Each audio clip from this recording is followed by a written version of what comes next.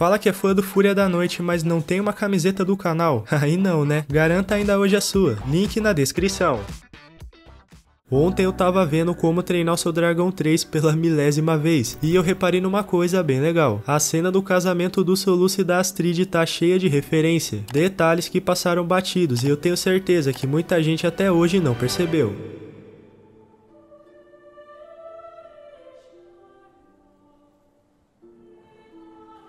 Por isso, nesse vídeo eu separei os segredos escondidos na cena do casamento, um momento muito importante na saga e que merece uma atenção especial. Bem. Vem comigo e vamos nessa.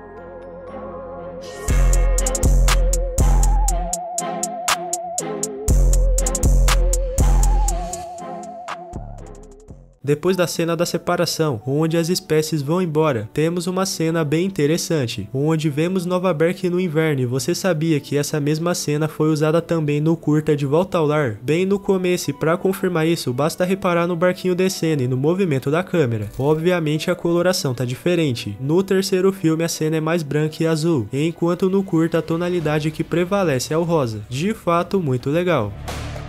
Já no momento da cerimônia, onde a aldeia inteira presencia o casamento deles, é notável bem ao fundo uma estátua do estoico, uma homenagem que deu um destaque a mais, como se o estoico também tivesse presente naquele momento. A câmera aproxima e olha que legal, a estátua do estoico tem um retrato do primeiro filme, simplesmente a cena do soluço e do Banguela, talvez o momento mais memorável da saga, e além de ser uma referência bem aparente, significa a importância desse fato para a história. Aliás pessoal, além Além dessa gravura, a estátua possui mais quatro desenhos, que junto com esse totalizam cinco. Muito legal também, eu tenho certeza que quase ninguém percebeu.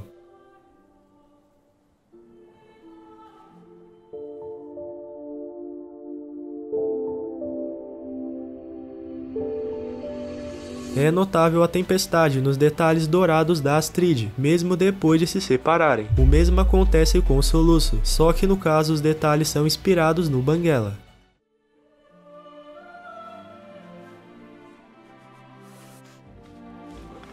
Do nada a filha do soluço, e eu sei que a menina é bem parecida com a Zephyr, e eu até já fiz um vídeo sobre isso. Acontece que como tem poucos figurantes infantis, os produtores acabam reutilizando a modelagem, por isso de longe ou até mesmo de costa parece que são os filhos do soluço, mas obviamente não são. O mesmo também acontece no primeiro filme, onde os figurantes pareciam que tinham a mesma cara, mas isso evoluiu ao decorrer da história.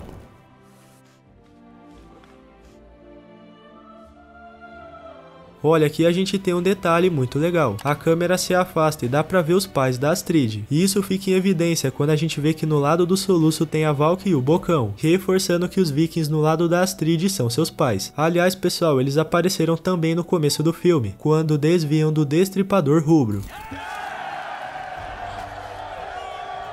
Ih, pegou o buquê, hein? Já pensou que legal se tivesse um novo filme e a gente visse o Eret casando? Seria bem inusitado. Hum, eu gostei Ai, tá bom. Filhote da Batatão em pelúcia. Esse detalhe na mochila reforça a saudade do perna de peixe pelo filhote, pela própria Batatão, já que ele carregava o bebê para todo lugar. Um detalhe muito bem pensado. Ai, que bonito. Que horror. Tá legal, venceu. Eu gosto de caras sensíveis.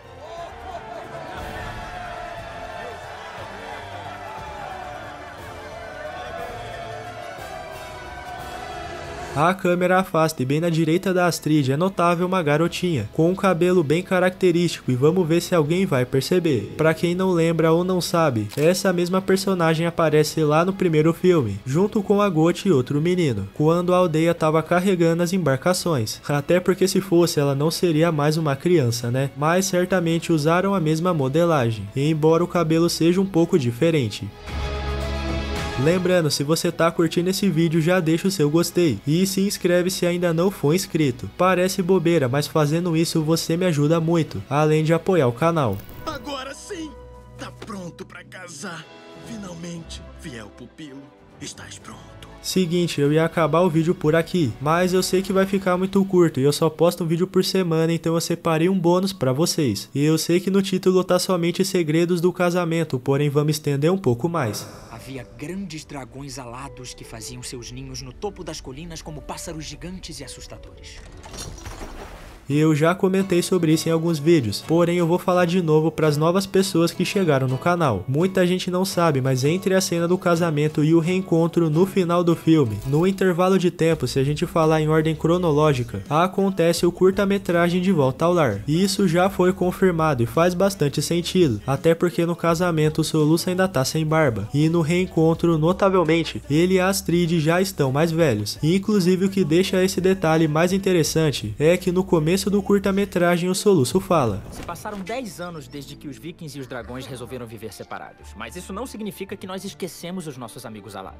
Ou seja, pessoal, entre a cena do casamento e o reencontro deles, se passaram 10 anos. Aliás, se você nunca assistiu De Volta ao Lar, eu recomendo muito. Aí fica até mais fácil de entender.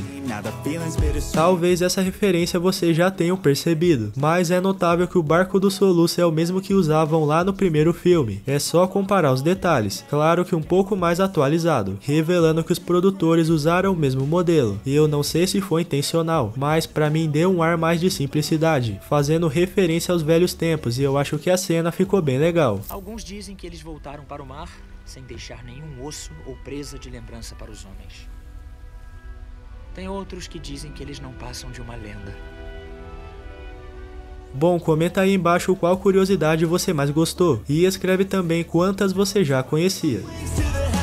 Eu vou ficando por aqui. Muito obrigado se você chegou até o final. Se for do seu interesse, dá uma passadinha na minha loja. Uma ótima semana para vocês. Fiquem com Deus e até o próximo vídeo. Different purpose. I'm a different person. I've been working on myself, built a new version. The best revenge is having success So what's next? Goddamn, I've been feeling real blessed To be alive, to be in this life. I got a new chance